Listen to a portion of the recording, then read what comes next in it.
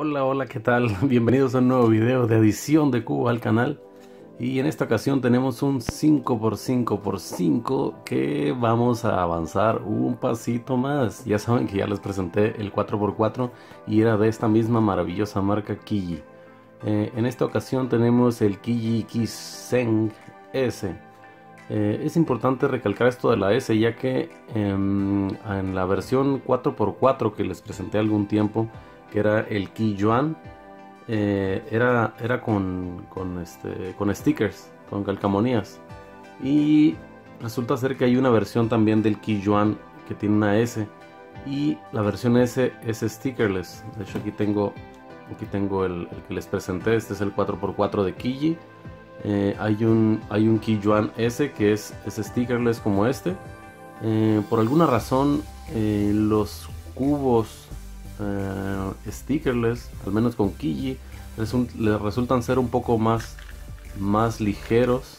Este, y no sé si la S sea de Speed, pero parece ser que funcionan eh, un poquito más, em, más rápido, se podría decir. No sé cómo describirlo. Eh, por ejemplo, el Kiji Warrior W, que es este. Ese no tiene la S, pero sabemos que es stickerless y es muy suave, es muy suave en sus giros. Entonces, pues vamos a, vamos a abrir este. Eh, vamos a revisar la caja, pues es la caja tradicional de Kiji y de esta, de esta línea este, de cubos económicos de Kiji. Eh, S stickerless, aquí vemos stickerless, parece ser que, en, que eh, este 5x5 solamente salió stickerless, porque ya ven que siempre nos ponen las diferentes presentaciones aquí al costado y en esta ocasión no viene ninguna. Aquí está Mats Valk, como siempre. Aquí muy orgulloso de su competidor. Y pues sería todo. Vamos a abrirlo. Eh, me resulta extraño, miren, no viene, no viene, no viene cubierto, no viene emplastificado como, como nos estaban acostumbrando ya en, los cubos que hemos estado abriendo. Aquí vemos que viene un manual. Eh, vamos a revisarlo a ver si es el manual que corresponde al 5x5 que debería ser. Sí, efectivamente el manual para el 5x5, algoritmos, movimientos, eh, método, parece ser que es el método de reducción el que viene aquí, que es el que el más fácil, no es el método para principiantes, no, tal vez no sea el más rápido, no lo sé, no soy speedcuber y menos con un 5x5 ya que este es el primero que tengo en mis manos. Mm, vamos a dejar esto por aquí por un lado y pues vamos a revisar. Wow. Eh, pues lo primero que puedo decir de este cubo es que tiene la misma el mismo acabado eh, Frost que, presenta el Kiji Warrior W, que es un acabado mate. Son, son estos colores tipo candy color, se podría decir, eh, colores pastel. Mm, y no reflejan tanta luz. ¿Por qué? Porque tiene este, este acabado Frost que llaman ellos, que es como si estuviera, como si acabara de salir del congelador, ¿no? Eh, tiene un poco de sensación al tacto la verdad se siente muy bien, igual que, el que aquí lo tengo. Este es el Warrior W. Se fijan, este acabado es exactamente el mismo, incluso los colores podemos ver que son los mismos. Y por la misma experiencia, hay mucha gente a la que no le gustan estos colores. En, eh, verdad a mí se me hacen buenos colores. Sin embargo, como ya lo he dicho en algún otro video, al no, al no tratarse de los colores originales, si estás utilizando este tipo de cubos y luego cambias, eh, al comienzo resulta un poco confuso, ¿no? Como que tu cerebro trata de buscar estos tonos y no son los mismos. Entonces ese es el único problema. Sin embargo, sí son colores bonitos. Se siente muy bien al tacto.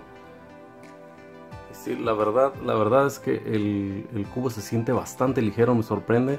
Porque a pesar de que van, van haciendo los de más capas, las piezas cada vez las van haciendo más chicas. Entonces se siente bastante ligero. Incluso me atrevería a decir que siente más ligero que este, tal vez solamente es un, cuestión de sensación. Vamos a traer la báscula para, comprobar su peso. Pero sí, la verdad es que es muy muy agradable, no es muy grande, si se pueden fijar aquí. Me atrevería a decir que son del mismo tamaño o hasta más pequeño que el 4x4, tal vez son del mismo tamaño.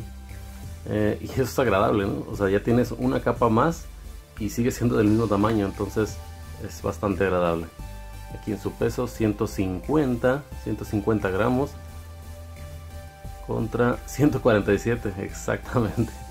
Miren, es, es, casi, casi igual, pesan casi, casi lo mismo. Así es que es, sorprendente cómo, cómo pueden agregar más piezas, más material y que siga pesando lo mismo. La verdad estos de aquí tienen, tienen una muy muy buena técnica. Vamos a sacar esto de aquí. Otro dato interesante de este maravilloso cubo 5x5, o al menos es lo que yo he encontrado, no estoy seguro, es de que el primero que salió a la venta fue inventado por Erno Rubik, el, inventor del 3x3, y salió con el nombre del Professor's Cube. Tampoco tengo idea por qué, pero ese fue con el nombre que salió eh, inicialmente a la venta. Eh, y esto fue alrededor de 1986. Ya con el tiempo empezaron a salir más versiones eh, de igual manera, ¿eh? o sea, era de Rubik, imagínense. Las primeras versiones eran bastante, bastante duras, al igual que cualquier cubo de, Rubik que nosotros conozcamos, eh, excluyendo por supuesto a esta colaboración em, que acaban de, de, hacer con, con GAN este, pues los cubos de Rubik son bastante duros, entonces el primero que salió 5x5 de Rubik era bastante duro con el nombre de Professor's Cube y pues ya con el tiempo empezaron a salir las copias con, se movían un poquito mejor. Y por supuesto este que le cambiaron el nombre a simplemente cubo 5x5 que es como se comercializa hoy en día ¿no? Eh, aquí vemos todos sus sus curvaturas en las, esquinas. Esto va a ser para el corte de esquina. Y pues que pues vamos a probar sus giros, ¿no? Mm, se siente un poco seco, así primera impresión. Eh, muy, un poco seco, pero muy suave, igual que el Warrior W. Esto pues solamente se soluciona agregando un poco de lubricante. Ya saben que utilizo el lubricante de, de Kiji. Así es que yo creo que agregándole un poco de lubricante esto se soluciona. Eh, vamos a probar los cortes de esquina, pues sí tiene en la capa. Bueno, ahí miren, ya línea con línea no lo hace. Es aquí casi casi llegando a línea con línea y todavía sí lo hace. Eh, de doble capa, mitad del cubo lo hace perfectamente. Línea con línea igual, se traba. Tal vez no es igual que, que, este 4x4. Tal vez no es el mejor de la línea de Kiji. Eh, al ser los económicos, pero la verdad son de muy buena calidad. Este, Vamos a girar una capa solamente. En dos capas a ver si se separan. Yo creo que no se van a separar porque la verdad se sienten bastante bien apretadas y eso es agradable. Eh, puedes mover dos. Si se desfasa un poquito. Pero no tanto. Así es que está bien controlable. Ya tres capas que realmente nunca lo hacemos en un cubo 5x5 o al menos no lo creo que exista el algoritmo donde gires 5 capas. Realmente aquí lo que estarías girando serían estas dos de abajo. Eh, pues corte inverso, pues no, no creo, ¿no? Un poco, la capa está bien, Igual este, este tipo de cubos económicos, igual no ser los más caros, ¿no? Pero eh, son mis primeras impresiones porque recuerden que es la primera vez que yo tengo un 4x4 y un 5x5. Este, pero pues no hay que forzarlos mucho, ¿no? Ya que al tener tantas piezas eh, es, es, más fácil que hagan pop o que se salgan de su lugar las piecitas, ¿no? Eh, con este incluso ya me ha pasado tres veces que se me, que me hace pop no y que se me salen piezas. Y la verdad es un fastidio tener que armarlo de nuevo. Así es que yo creo que con esto va a ser lo mismo. Pero las primeras sensaciones les puedo les puedo decir que se siente se siente bastante bien. Eh, es muy suave el giro y muy silencioso. Entonces es un cubo que si lo tienes bien lubricado lo puedes estar resolviendo este, mientras otras personas están platicando o están haciendo otras cosas y no creo que les moleste ya que es muy muy sigiloso. Mm, pues sería todo de este review. No tengo mucho que mostrarles. ¿Por qué? Pues porque no soy, no, no, no soy speedcuber y soy principiante y este es el primer 5x5 que tengo en mis manos. Lo que puedo hacer aquí es el patrón alternado, nada más para que vean todos sus colores combinados. Eh, pero sí, igual la solución no sé, me imagino que debe ser igual que, el 3x3. Me imagino que debe de haber una que otra, una que otra cosa que, haya que aprender para resolver en, estos cubos, ya que me imagino que se pueden presentar paridades eh, de dos piezas que te quedan eh, invertidas o de ese tipo, no sé. Ya lo estaré intentando resolver sin buscar nada, y si llego a ningún punto en el que me atore, pues ya buscaré este, en internet alguna solución y ya sacaré mis propias conclusiones. Pues miren, se mira muy muy bien, como les digo, los colores son los mismos que el Key Warrior W y es una pasada porque entre más, más capas le vamos agregando a nuestro cubo, mucho mejor se ven estos tiles así de colores, ¿no? Hola, hola, ¿qué tal? Soy el Gio del futuro interrumpiendo una vez más un video solo para decirles que, que ya he logrado resolver este cubo y la verdad es que sí, sí, sí, sí, sí, es, es un tanto sencillo. Eh, solamente tuve que aprender un par de algoritmos nuevos que pues, lógicamente no los pude sacar por mí mismo, no, no soy experto en eso. Eh, pero los busqué y solamente son dos, son dos nuevos. Encontré mm, algunas personas que utilizaban un algoritmo para armar los centros para hacer el intercambio de, las últimos, los últimos dos centros que estás armando por el método de reducción, lógicamente. Eh, usaban un algoritmo para intercambiar las piezas. Eh, la verdad es que no se necesita, o al menos yo no lo necesité. Bueno, al final de cuentas todos los movimientos que hacemos se pueden denominar algoritmos, ¿no? Un algoritmo es una secuencia de pasos eh, a seguir en una situación específica, ¿no? Entonces, este, más bien yo creo que yo formé mi propio, mi propio algoritmo, ¿no? Para, para hacer esto y se me hizo mucho más sencillo, sin aprenderme nada, solamente, este, es muy, muy intuitivo. Eh, anteriormente pues ya había hecho el 4x4, que tampoco se, utiliza ningún algoritmo eh, aprendido para, para, armar los centros. Eh, y me topé con dos situaciones este, en en, cuestión de, a la hora de armar las aristas, ¿no? ¿Para, ¿Para qué? Pues este es el método de reducción y esto eh, lo armas así, ¿para qué? Para al final armarlo como si fuese un 3x3, ¿no? Aristas, esquinas y centros, todos de un solo color, así es que se puede armar como si fuese un 3x3. Eh, una de esas situaciones eh, es, es, esta que tenemos aquí. si pueden ver, aquí esta pieza va de este lado y esta pieza va de este lado. Si yo lo pongo aquí se arma. Pero no puedo armarlo. Si han armado el 4x4 antes o un 5x5 pues saben que si yo guardo esto pues voy a deshacer otra otra línea no entonces aquí sí ocupamos aprender un algoritmo para intercambiar estas dos piezas. Y este eh, para, para el intercambio de estas dos realmente es un algoritmo que se me hizo muy fácil de aprender eh, yo me lo aprendo como por las letras, por la secuencia, ¿no? Este es un Lulu FL F, eh, Ruru. Así le llamo yo, y al final una L. ya se suena raro, ¿no? Pero así, así es como cada quien utiliza sus métodos para aprender, ¿no?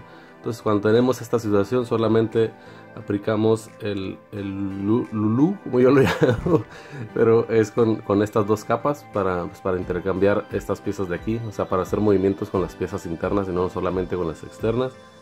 Eh, entonces yo hago esto, Lu, Lu, F, L, F, luego R, para hacer el Ruru pero agarro con las dos capas. R U regreso U y dos veces L. Ya si se fijan se intercambiaron estas dos piezas.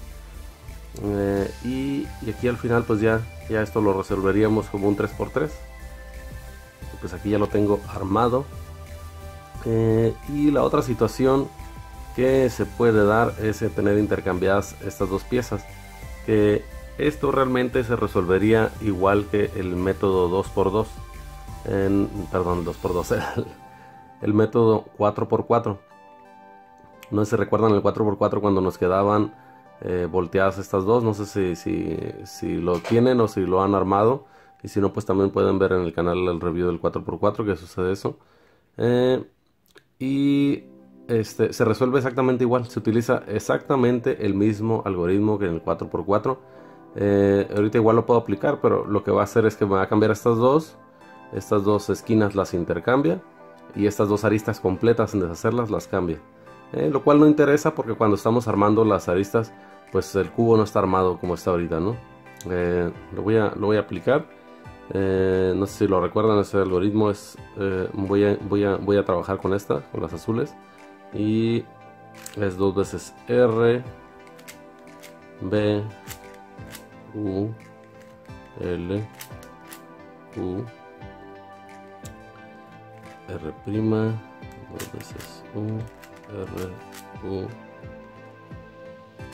F, R, F, B y dos veces R.